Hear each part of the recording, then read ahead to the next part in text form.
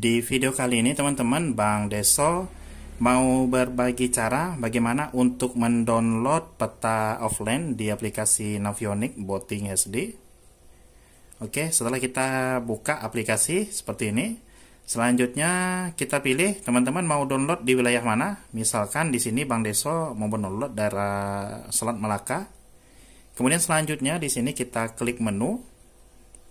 Nah, di sini ada download map map bisa disimpan, peta ini bisa disimpan dan penggunaannya ini bisa offline atau tanpa jaringan. Ini kita klik. Nah, misalkan Bang Deso mau download area yang ini saja. Oke, eh, selanjutnya kita klik download.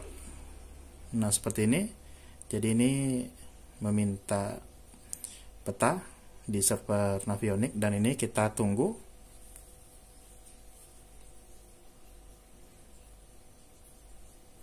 Jadi buat teman-teman yang mau download wilayah lain itu sangat bisa sekali dan ini tadi teman-teman ukurannya 5,83 MB lebih kurang sekitar 6 MB untuk wilayah peta Pulau Bengkalis.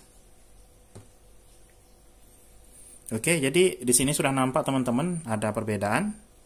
Jadi jika di area yang kita mau download di sini ada perbedaan, ada putih yang kita download dan hitam ini belum kita download.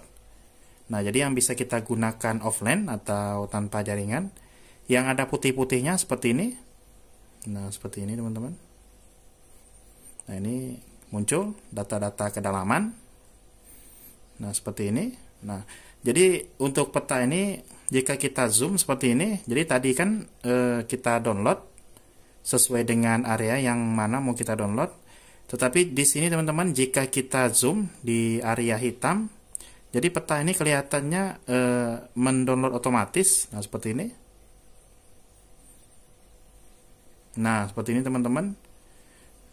Otomatis e, mendownload karena kita zoom ke tempat yang tadinya gelap, tidak ada data peta. Nah, jadi teman-teman tidak harus kita download menggunakan fitur download di sini.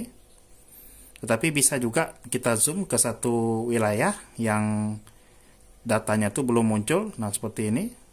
Jadinya putih nanti. Nah, seperti itu teman-teman. Sangat mudah penggunaannya dan di sini sangat lengkap ada